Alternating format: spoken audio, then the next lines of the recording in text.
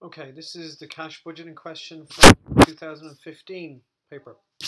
Uh, I want to focus mainly on the, the budget tables, the cash budget, more than the profit and loss. I might maybe do that as a second video. So, let's start with the basic document and we'll focus on getting the word structure in here first before we start looking at numbers. So we have expected selling price is 50 euro per unit and we know the amount of euros um, that we're going to take in. So you divide that by 50 and it gives us the amount of units. So that might be useful later on. So uh, we have cash sales, uh, credit customers. 80% is credit customers. They will pay 50% of the month after sale, the remainder in the second month. So we have debtors one month and we have debtors two months.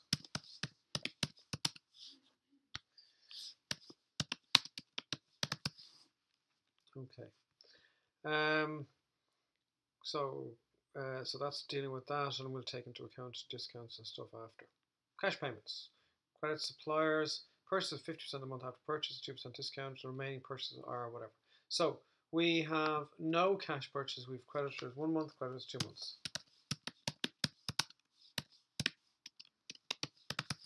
Okay. Um, other costs. So we have wages.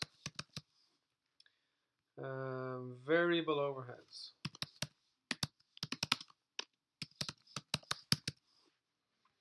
Fixed overheads, including depreciation. So I need to take out my depreciation, okay?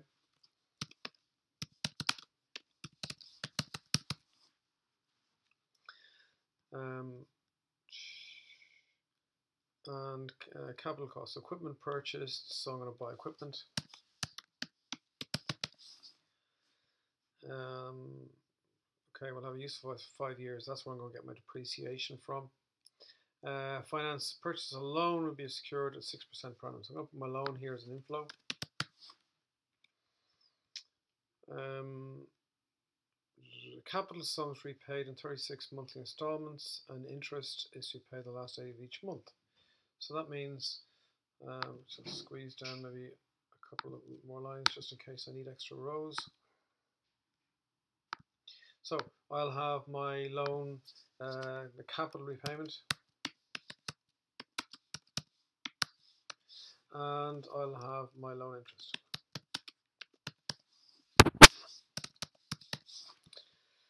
Um, interest rate based on the amount outstanding on that date. So obviously that the interest will go down as I pay off bits and bits of the loan. Okay. So um, that is it nothing else in there that uh, concerns me. So, um, my sales, and just quickly, sec he's setting up the business, so he won't be paying off anything that's relevant for before January. Oh, this is the first the seventh, so I'll be starting on. My months will be uh, July, um, August, September, October, um, so November and December. So my cash sales. So 20% uh, for immediate cash and cash discount of 5%. Uh, now, 5% of 20 is uh, 1%. So that means I'm going to get 19% uh, in July. So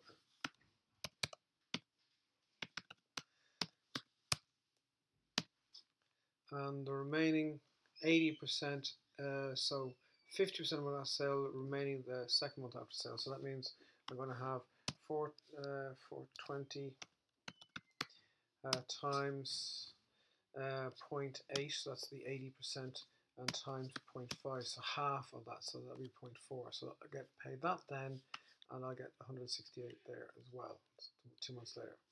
There's no discounts there. So and zero is paid there, zero is paid there, zero is paid there. Uh, August, so you have 440 times 19%.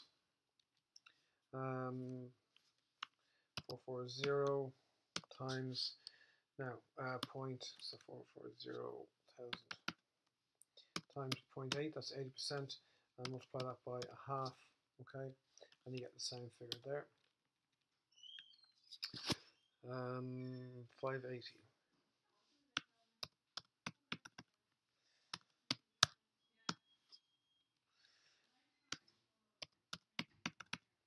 Times, so 580 times 0.8 and then times 0.5. Same number there. And then 590.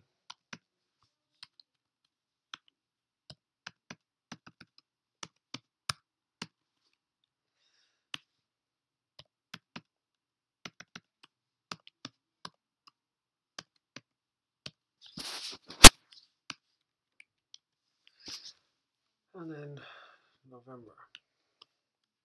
So November is 620 times 19%, 620 times 0.8 times 0.5,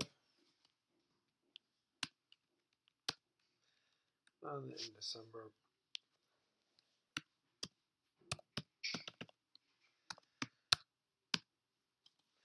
ninety percent there, and then we have six, six two five times point eight times point five, and then we'll have the same number is going to be letters. So all of those three then are going to be debtors that we'll owe if we're doing uh, balance sheets. Um, so we dealt with that. Credit suppliers.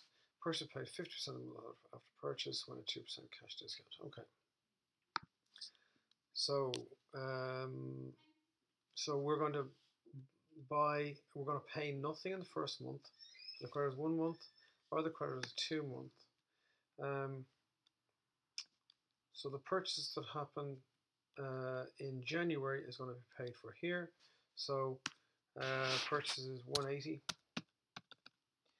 and I'm going to pay for 50% of that in, just quickly checking, the month after um, purchase. So I get a 2% cash discount. So 2% of 50 is 1%. So I'm going to pay 49% for that, okay? And I'm pay for the second month, okay? So I'll pay for um, 180 times 0.5 the second month. Then we have 220 times 0.49 and uh, 220 times 0.5. Then we have 260 times 0.49. Remember the 49, just to reiterate again, is 50% of the sales of 260 times 50% and I'm taking away 2% of that figure. So 2% of 50% is 1%. So that's where the 49 comes from. So I'm taking 1% of 50 away to get 49%. And so we have uh, 260 times 0.5. And then we have uh, 265 times 0.49.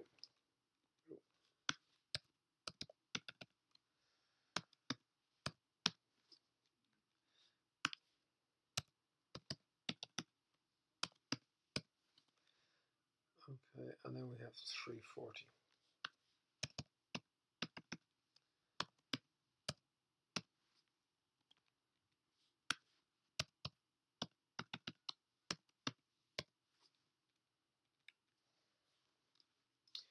And then December's, which is going to be paid one month after, is 370 times 0.49.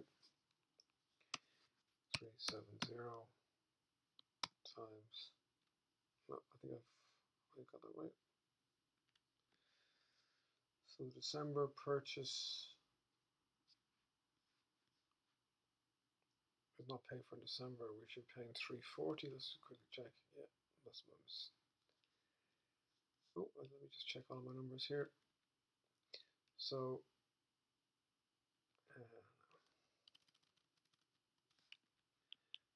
I think I've taken, a, I've dropped a month out. So that's 180, 220, uh, 260, 265, 340, 370. So that's 340, yeah, 370, yeah, that's right.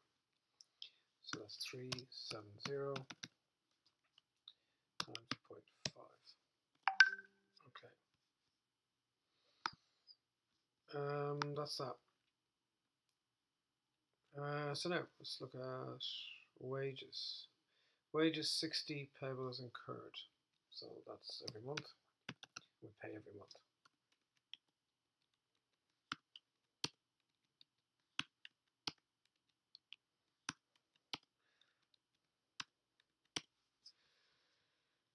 Um, variable overheads 10 per unit uh, payable as incurred. And this is where this uh, expected selling price is going to tell us the number of units.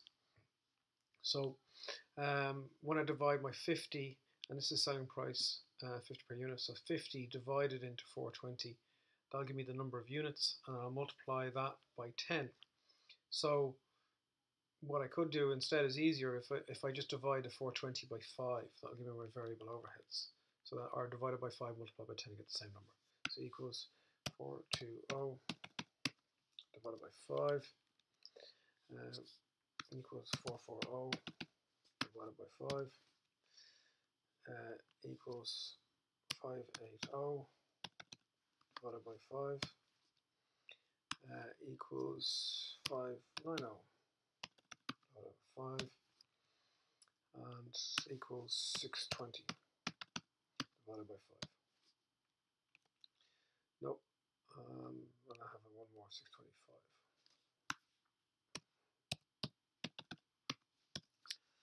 Okay, fixed overheads. Now, I I have to take out my depreciation, so I need to deal with that first. So the equipment is going to be bought on the 1st of July cost of 42. So I'll put that in here, 42. And it's going to have a useful life of five years. So five years is 60 uh, months. So I'll be taking away a 60th every year um, to get my depreciation. So if I just do this over here, so 42 is what it costs. Divide that by 60. Um, so 60 months, so 700 a month. So my fixed overheads is going to be 65 grand minus the 700. So equals 65 minus 700.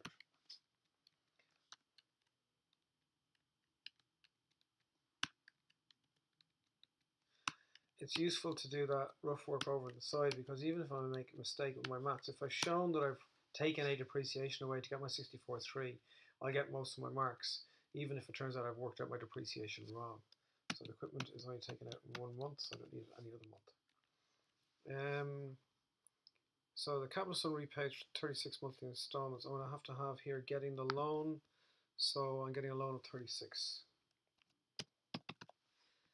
Um, so that is good. And 6% per annum. And I'm taking it out on the 1st July. Capital sum repaid in 36 monthly installments commencing on the 1st of August. So I'm paying nothing here, okay, 1st of August.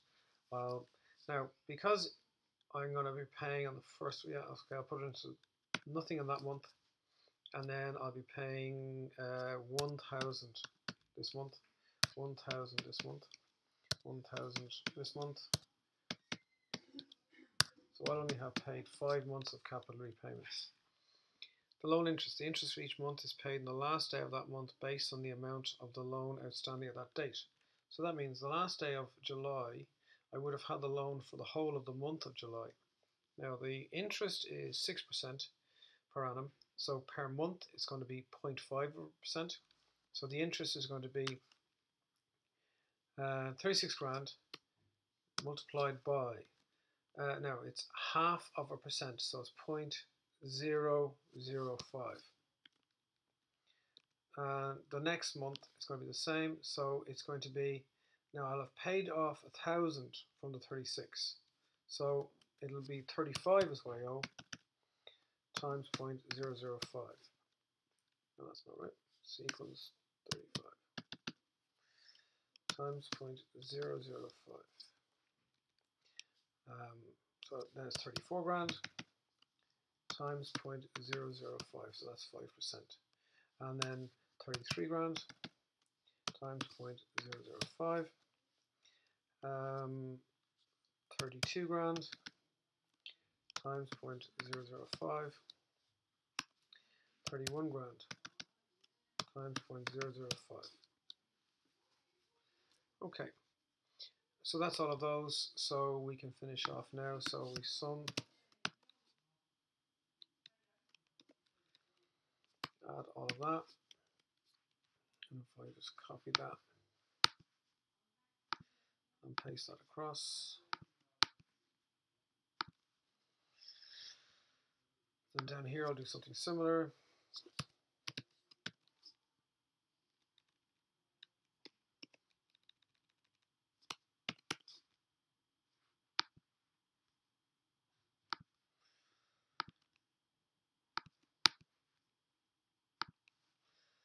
So the net cash inflow, sort of shorten that. So net cash is going to be the total uh, inflow, take away the outflow, and I'll do the same thing all the way along each month. So I'll copy that, paste in the same formula. Now the opening cash, this is a brand new business. They had no money mentioned in the bank at the beginning. So we'll say the opening cash is zero. So the balance is going to be the opening cash um, plus, uh, so the opening balance plus the net cash. Now, some questions they'll have financing where they might put in something like we want to maintain a minimum balance of a certain amount every month. So if we've realized that our closing balance is going to be below that minimum figure we want, we may need to take out an overdraft. In this question, we don't have any, so we're just going to ignore those two lines. So the closing balance for one month becomes the opening balance for next, as we've done before. So we copy this formula and paste that in there. And then we copy this formula, which is the closing balance from the previous month, and we paste that in there. Okay, I hope that makes a bit of sense to you.